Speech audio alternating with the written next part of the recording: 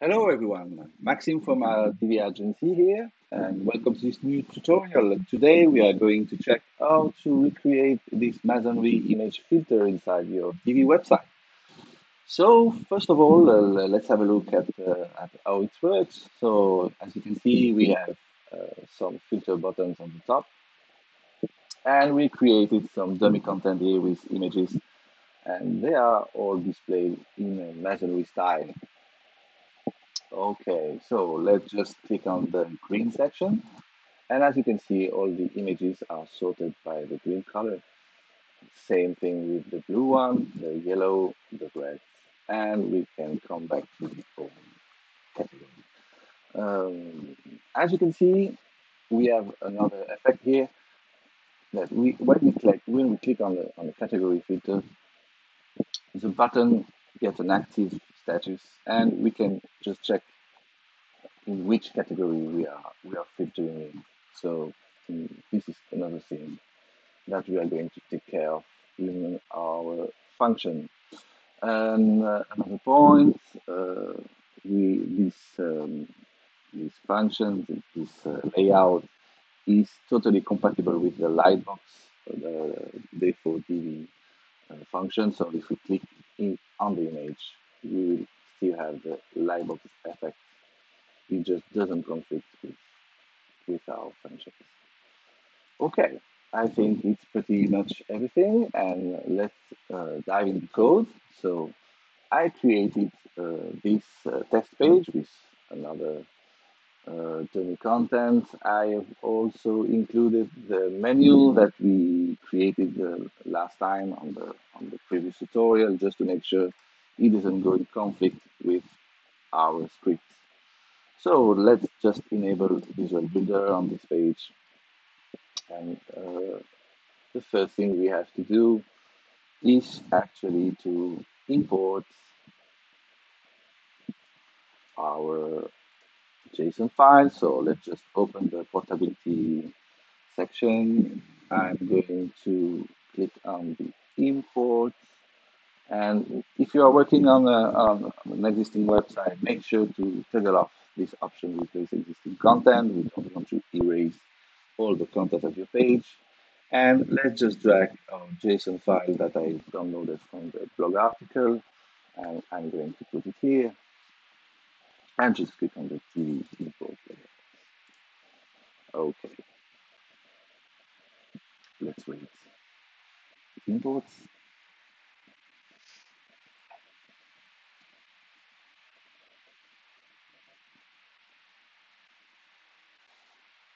Okay, just finished. So uh, you can see all the images been imported. By the way, we are we are using uh, pexels.com for the images, so they are free of use. Let's just save for now, and let's just check the front end and see if the changes are applied. I'm going to go back into the test page and just make a quick refresh. Okay, so our menu is still working, and let's just go back here, and yeah, we have our section. Great. Let's click on, on the filters and it filters correctly. Great. Yeah, just just check the responsiveness of, of it. So if we just change the size of our browser, it will automatically adapt to the size of the screen. Okay. So it goes from three columns to two columns and eventually to three columns and the lightbox effect is working. Okay, everything is seems to work. So of course we are using dummy content here. You probably are asking uh, how to change the category and how to assign each image to the proper category. So let's go back in the code and uh, let's just open our, our Divi module. Just to make things clear, I will open the layers here and our, our section our, search, our section is composed of three rows. The first one is the titles, and you can safely delete this. It's not it's not of course needed. Um, the first one in the is the filter button. So the one that you can see, this one. And the second one is the filtered content, so all our images. Great. So for now, just just open an image, and uh, let's check advanced classes, and we see we have two classes here: filtered item and green. The first one you don't, you really don't need to, to delete it. You need to keep it so uh, the JavaScript function we are using can identify this as, a, as a, an item that we need to filter. So you, you just need to keep it like that. But the green here corresponds to the category of the image. So for now, we just click on the green image. And if we click on the green, it's part of the green category. So it's filtered correctly. If now I come back to the builder and change it to red, let me, let's, let's make the, the test and let's save it. And let's come back to the front end, let's refresh. Okay, we still have, we should still have a red one, but if we click on the red category now, you can see that we have our red images and we click on the green one. There is no more this woman with green background. So it's working correctly the image has been assigned to the red category correctly. Okay, this is how uh, assigning categories works. You just have to go, let's go back to green In each image, you want to filter and assign a category. You can, of course, create a new one. Let's say, for example, let's come back to the first image just to make things clear. You can come back here and change to the orange category. Okay, there is no orange images, of course. Let's just save. And let's see if our script dynamically create this category. Let's refresh. And now, as you can see, we have an orange filter. All the other are still the same. Let's click on orange, and we have our image filter into orange category. So with this method, uh, it's not only sorting uh, the category as you wish, but it creates the category that it's missing. So the script will go uh, on each image, pick up the classes, and create the ones that are existing. Okay, so let's go back and, and write green, just to to, to be as neat as possible. And if we refresh, we won't have the orange category anymore. Okay, works like it's supposed to be. Okay, so the next step, we are going to to check the filter button. As you can see, on the back end, uh, we are not seeing uh, the real one, right? So uh, the old green, blue, yellow, red are not visible in the in the backend. That's because in the backend we, we can't run uh, custom uh, JavaScript uh, if it's not using a custom model. So since we are we are all writing our code inside a code module, the the script won't actually run. So we are using this example button. It's a filter button. It's a default one, but this button won't actually display in the front end but we are using this uh, example one just to make you see the, the styles that will be inherited in all your visible buttons. Okay, so we are actually using a call to action module here. As you can see, it's a call to action here.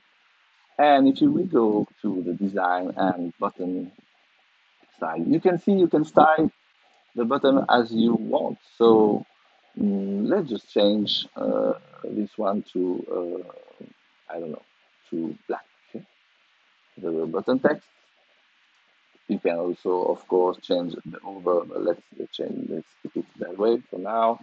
And let's change here the background color and let's make it uh, black also. Okay. And the button text should be, oh, let's say this. And the color, let's make it black also. And on the over effect, we want it to be like that. So let's just Let's make it that. Okay. Let's keep it that way. Okay. Let's just save for now. And go back to the front end. Okay. Show that a bit.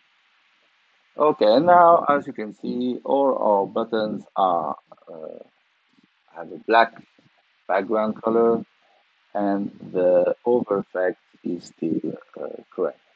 But if we click, we can see the active uh, styles are still the one uh, that we used before. So how can we manage the active styles? Here we, we need to open the CSS file right here. And on the first rows, you can see these three CSS variables. They are managing our styles for active buttons. So it should be uh, pretty easy to understand.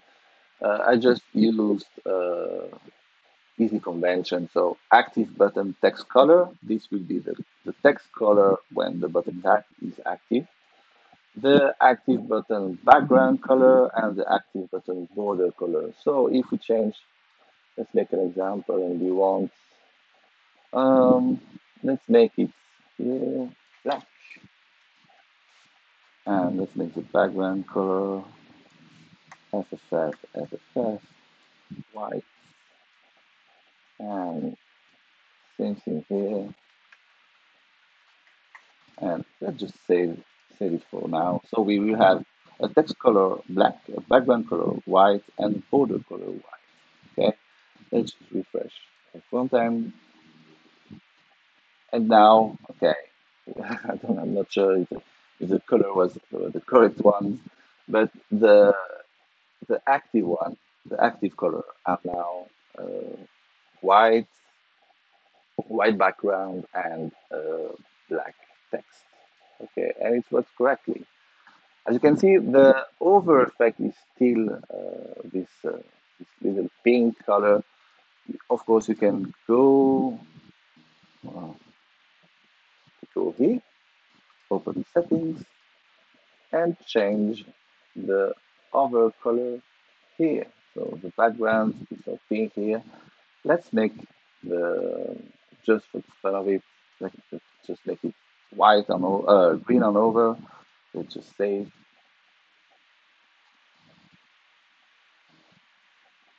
And now the the over background should be green, and it is. And if I click it, it's just a white background as expected. Okay, of course you can change all the property here.